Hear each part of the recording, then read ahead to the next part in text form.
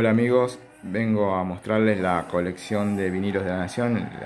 esta es la edición número 1 que salió el 15 de octubre de 2021. Eh, este es el primer álbum de Iron Maiden que se editó en 1980.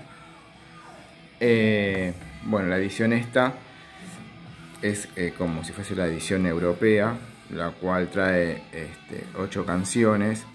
Prowler, Remember Tomorrow, eh, Running Free, of the Opera, Transilvania, Strange World, Shadow the Hadler y el tema Iron Maiden.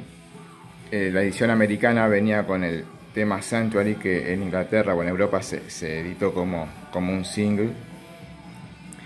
Eh, en esta formación del disco está, bueno, Paul Diano en la voz, Dave Murray y Dennis Stratton en las guitarras, Steve Harris en el bajo y Clive Burr en la batería. Dennis Stratton, creo que 10 meses después más o menos, dejaría la banda y es suplantado por Adrian Smith, quien terminó la gira.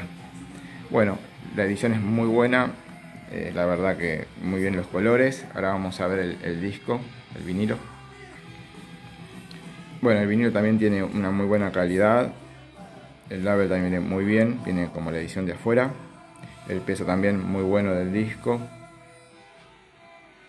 Estas ediciones también traen eh, un libro este, con, fotos y, parte de la historia de la banda de ese momento, ¿no? Em, este disco, bueno, fue, fue producido por, por Will Malone, o Malone, no sé cómo se pronuncia, y muchos se quejan de la producción porque dicen que tiene un sonido muy crudo, incluso hasta dicen que es muy punk el sonido.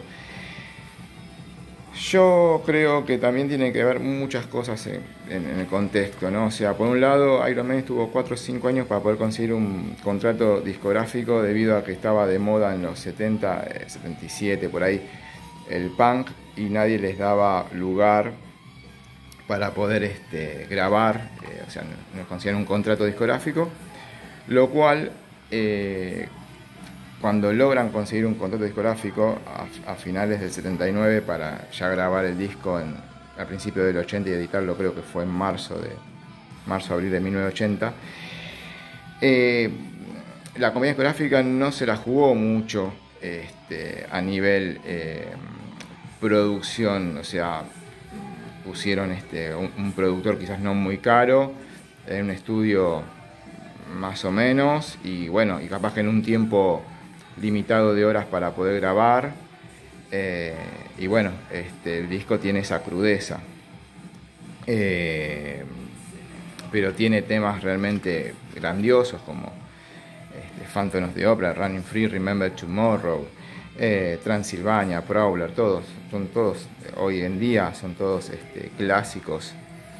Eh, para mí es un, un discazo, este, un, disco este, fundamental y elemental para cualquier fan del, heavy metal. Así que bueno, recomiendo muchísimo eh, estas ediciones de La Nación, este disco también.